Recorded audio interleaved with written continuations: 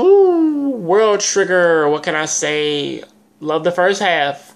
Everybody's giving everybody's praise, meeting all these brand new characters. Every, every everything's fun. Midorikawa's doing his thing. They are trying to address the problem of Chika over there not necessarily seeing her life as valuable because of the simple fact of she sees herself as uh, as a target anyway, and she wants to get captured so that she can go and save her brother, or she doesn't value her own life like as much as they do.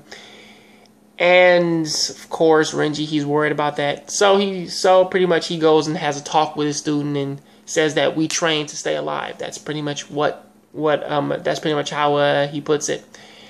And then it goes from that to talking about a, a very interesting character named Ko, who actually who who join uh who says that he will fight Yuma under two conditions. One that they take a I believe one that it's a match of ten and that it's a it's a um they have to take a 15 minute break.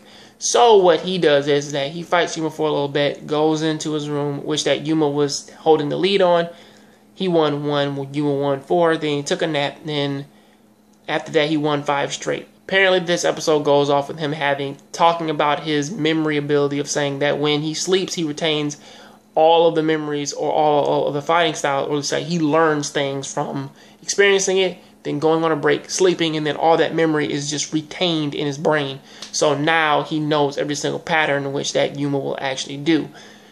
Yeah, and Yuma says that that's difficult. Plus side is though, well, actually, plus side man to all this information is though is that that could end up probably becoming a problem for everybody.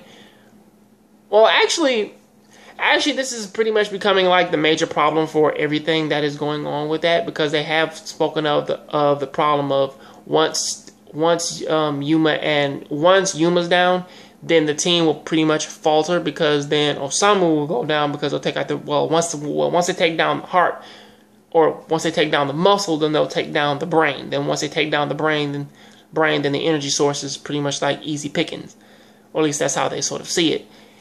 And I really wonder what um, I really wonder what uh, Mikado will do now. There's also another girl out there who's also up on the opposing team who Jin tells to go and check out the fight before it's over. I don't necessarily know if she pretty much got there to see it, but what I will say though is that since she's getting some screen time, she is going to be a fucking beast, most likely in the next episode, or she's going to be a fucking problem. So that is what I got to say about that. Please tell me what you think about this down in the comment section. Catch you guys on the next Jon Graves Show. Please keep watching anime, keep playing video games. I'm out.